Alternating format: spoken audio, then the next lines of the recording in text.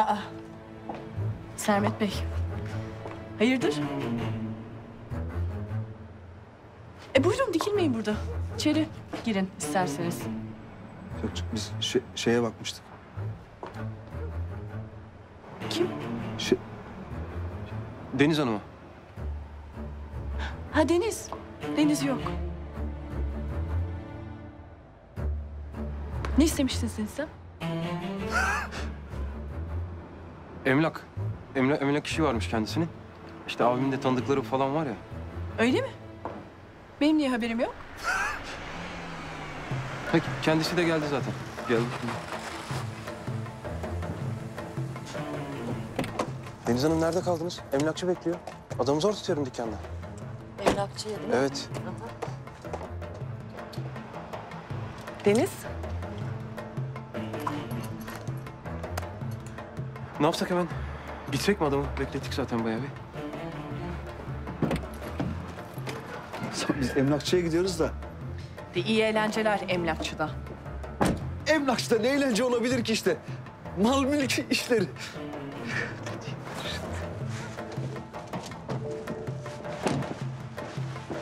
Abi, arkaya bin abi. Bin, bin.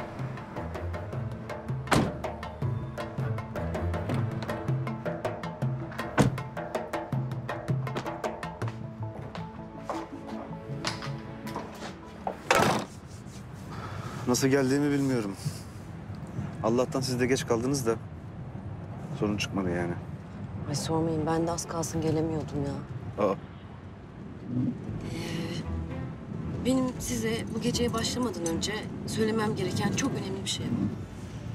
umarım kötü bir şey değildir. Çünkü kötü bir şey duyma hakkımı bugün doldurdum. Yani söyleyeceğim şey sizin nasıl yorumlayacağınızla ilgili bir şey. İyi de olabilir, kötü de olabilir. Yok yani bilmem belki. Deniz Hanım ne olduğunu söyleyecek misiniz? Tamam. Fırat Narin'e evlenme teklif etti. Adam gibi sürsene oğlum sen bu arabayı. Yani yok. Çocuk da haklı tabii. Sizin şeyinizi merak etti, tepkinizi. Ali Bey siz yola bakın lütfen. Yok yani tepkiden falan değil ya. Kusura bakmayın yenge. Benim tepkim mepkim yok yani. Ben Fırat yüzünden geç kaldım. Bizim evde oturuyor zaten öyle geldi. Üzgün argın duruyordu. Ha şey ya. Narin kabul etmedi. Yani etmedi değil. Reddetmedi de şey cevap vermedi. Haklı. Kafa gitti onun da. Demek o yüzden çocuğun canı sıkkın. Yani sizin için bir sorun yok öyle mi?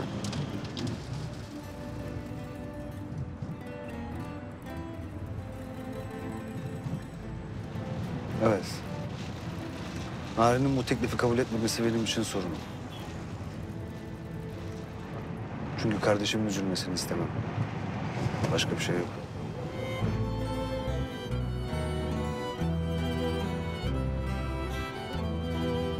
Ya yemin ediyorum Allah'ıma kitabıma köpek gibi kıskanıyor beni. Şerefsizim kıskanıyor ya.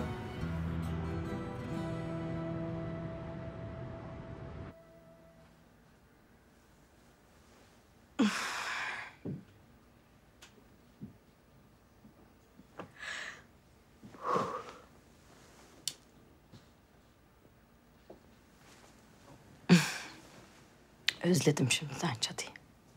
Ne yapıyor acaba? Kanalımıza abone olarak tüm videolardan anında haberdar olabilirsiniz.